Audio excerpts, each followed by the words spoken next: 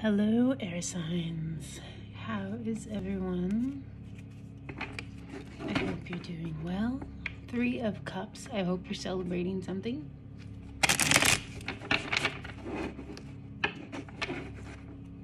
Wow. Three of Cups and the Ten of Cups. 13 Cups. That's a lot of happiness. That's bliss, pure joy. I see you getting happier and happier. Bam. Four of Swords, because you're taking the rest that you need. Meditation. You're being blessed here. Blessed to rest. Being taken care of. Someone could be taking care of you. The tower, there's a sudden change, a sudden revelation, a sudden epiphany, a n- new movement, a new opportunity that moves you forward um, with grace and style, is what I hear. The chariot is all about being seen um, for accomplishing something great. It's like being in a parade and everyone sees you and they wave and you wave back you're balanced. You've taken um, the dark and the light, your shadow side and the light side, and you've combined them and you control them and you can drive. You're driving your life with both hands on the wheel.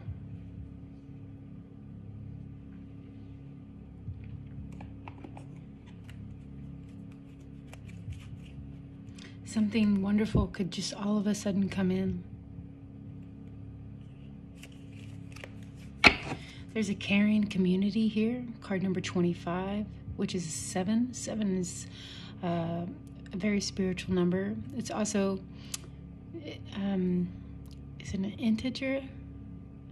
But you know, when you're in school and it's the alligator that eats the numbers, it's like a fraction sign. Seven is like that. So whatever is behind it is um, is the focus. Caring community, participate and belong enrich your life.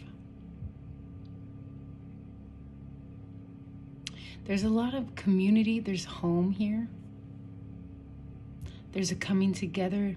People are seeing each other for their hearts, for the true magic that they are. There's full moon magic here, so this is a lot of emotions. There's a lot of love here and a family, some kind of family friend dynamic.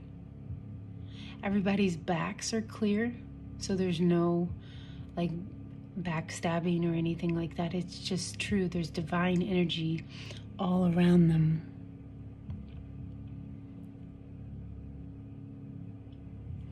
Magic in the air.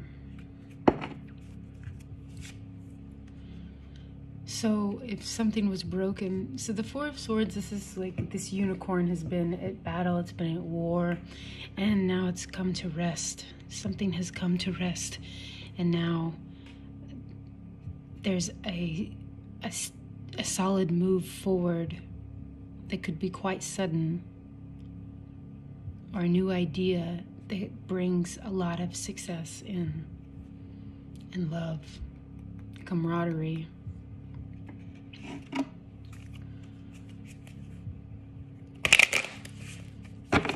This is the Divine Feminine deck. We are all masculine and feminine within. I should make a Divine Masculine deck. That would be fun. I see the vastness of space, that things are endless and there's endless possibilities new life to be explored, new places, travel, hearts, experiences. You could be going out on the town, going to a new restaurant. You could have recently gone to a new place and loved it.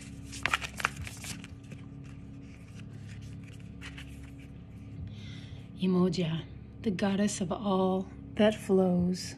I'm sorry, gotta find my where you can see it best. I am an ocean of creative energy. I give birth to what exists within me. What exists within you is great magic and beauty. Look at the power of those waves, your emotions. When you follow your heart, you succeed in all areas. Mm, this is, this one's, how do I say this? Um, Yashi Tao, oh, mm, the Lady of the Lotus Born. Embodiment is the deepest bliss. My body was made for enlightenment. She's dancing, and at the beginning of this reading was great bliss. Ten of Cups is bliss. That's happiness. That's fortune after difficulty. Three of Cups is bliss. It's happiness. You're looking up. Things are looking up. You're celebrating with your soul family, with your tribe, um, with the energy all around. Look at that. Look at this. Open to abundance. Card number eight. Believe you deserve, accept plenty and prosperity. 11. Look for the signs. There's a 33 here. Pay attention, expect an answer. I see abundance that just could be flying in. That's beautiful. Dance with life. Something's ending here for new things to be born. Go with the flow. This great abundance is for you. You're magical. You've you've dived deep into your emotions and I see you going deeper and and um, rising higher than you've ever uh, rose before.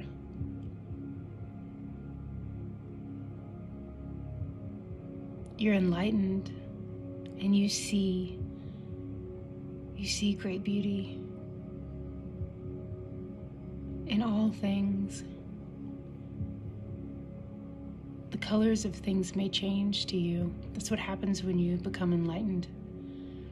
Things change because your thoughts about them change. Some of y'all look really great in a bikini, okay? Mermaids are magical creatures. The symbolism is you you can go to great depths and you live at great depths of your emotions. You're highly intuitive.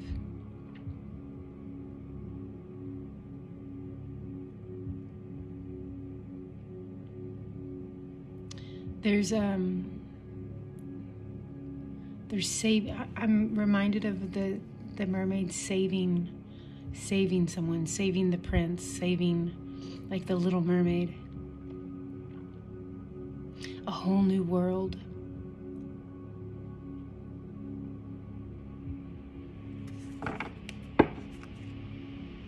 Diana, Queen of the Wilderness, the language of the natural world. I'm just checking to make sure that you can see this. The language of the natural world is a frequency of love. This is my mother tongue. She kind of reminds me of Minnie Driver.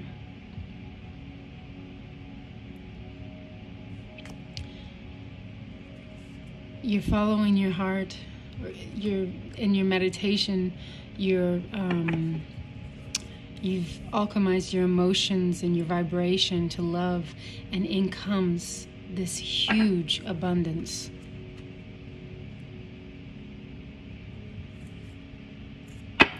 Rita of Cascia, the patroness of impossible causes. I am miraculous. My prayers create powerful channels of possibility, prayer, and meditation. I am miraculous. My prayers create powerful channels of possibility. Something something changes within you. You see things from a higher perspective. You see things for what they are. You let go of whatever it is that you need to let go of and you move forward with this deep knowing and this beautiful love and you share it with the world and you're open to abundance and you accept plenty and prosperity. You accept your abundance. You see the signs.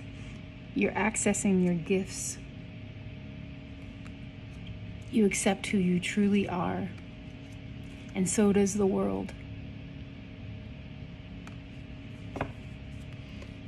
I am miraculous.